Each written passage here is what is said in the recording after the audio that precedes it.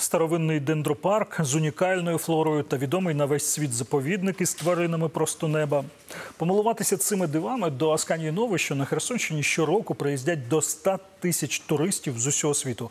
Але мешканці громади певнять, що за наявності туристичної інфраструктури охочих їх відвідувати може бути у рази більше. Тож подалися на конкурс Наша громада.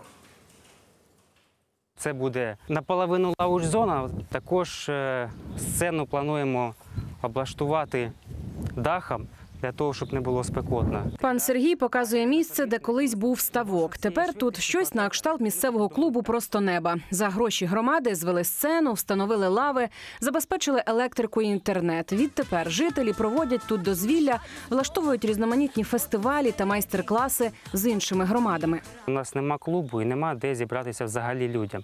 Тому саме цей майданчик, скажімо так, це простір для того, щоб об'єднати всіх людей Асканія Нова об'єднує 9 населених пунктів. За 5 років після децентралізації громада вже відновила водопровідну мережу, збудувала центр надання адміністративних послуг, відремонтувала музичну школу, гімназію та створила спортивний клуб.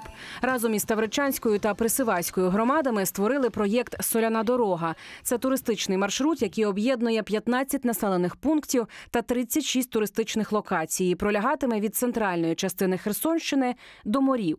Та найбільше місцеві пишаються своєю візитівкою дендропарком з унікальними рослинами та славнозвісним заповідником Асканія Нова. Тут у дикій природі живуть бізони, лами, сайгаки, зебри, антилопи та коні Проживальського. Щороку подивитися на тварин приїздять до 100 тисяч туристів, але зупинятися їм ніде, та й розваг більше ніяких немає. Тож, погулявши заповідником та зробивши світлини у дендропарку, туристи їдуть з Асканії. Днями очікуємо 50-тисячного відвідувача, але ми е, стикаємося з очевидним фактом, е, що люди, відвідавши наші маршрути, е, так сяк перекусивши в місцевих кафе, від'їжджають звідси, оскільки немає інших е, таких е, розважальних е, закладів, Сільрада вже виділила землю у центрі селища, розробила проєкт готельного кварталу та шукає інвесторів для його реалізації. А для розваг туристів на місці колишнього висушеного ставка планують облаштувати арт-простір,